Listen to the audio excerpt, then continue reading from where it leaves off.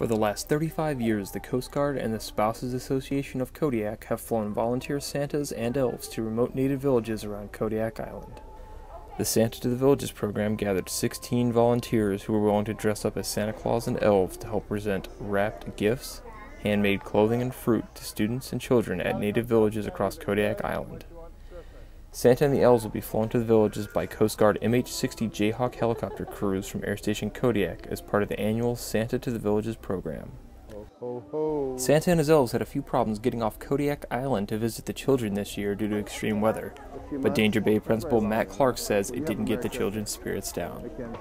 They've been uh, checking the weather every day and looking out the window to see if Santa's coming in. And they said, well, them clouds need to move up. The clouds need to move up and away so we can get Santa in here so he can come and visit them at the school. Although the Coast Guard and the Spouses Association of Kodiak have been bringing joy to children and families for over 35 years in Alaska, each year also brings something new. Not only for the new volunteers, but for the children who will get to see Santa come flying into their village with presents for the very first time. Have a Merry Christmas. Santa had a few words of advice for the children for this upcoming holiday season. Be good. Santa's always watching you and love your parents.